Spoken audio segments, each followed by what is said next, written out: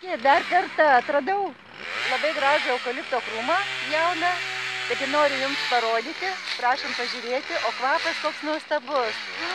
Kaip man jisai patinka, labai labai patinka. Taigi, tiek šiandien norėjau.